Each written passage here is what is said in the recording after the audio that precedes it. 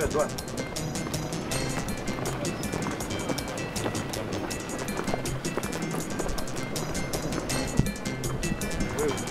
Tá, bolinha aí.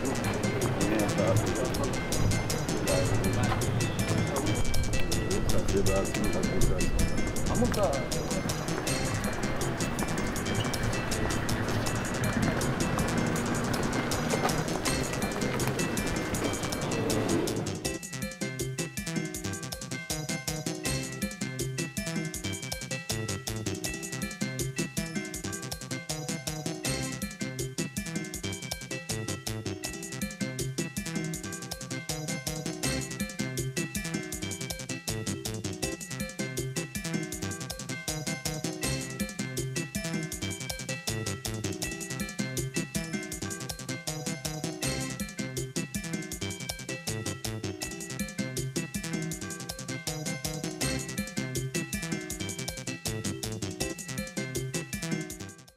C'est justement pour venir regarder comment la situation a évolué et la dynamique là a évolué dans son appui.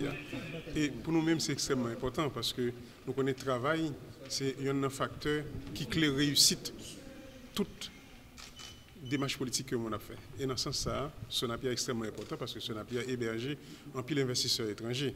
Et là, nous venons regarder les difficultés que différents investisseurs qui ont dans Sonapia. Et pour nous, nous-mêmes, beaucoup de gouvernements, qui ça nous a supposé faire? Évidemment, et comme euh, directeur Sonapia et Sodino, la responsable Sonapia Sodino, il y a trois éléments clés, que ce soit port, aéroport et question d'électricité. Et nous-mêmes, beaucoup de panneaux, que ce soit au niveau de la police nationale ou bien au niveau de des forces armées d'Haïti en collaboration bien sûr avec Force multinationale, là, avons assuré nous que site stratégique ça il a tout support, toute sécurité qui permettre fonctionnement des entreprises. Donc nous là, justement, pour nous assurer nous que nous connaissons volonté gouvernement, volonté présidence là, pour que nous arrivions à une sorte d'apaisement et surtout assurer que nous avons un environnement qui permet de travailler dans le pays d'Haïti.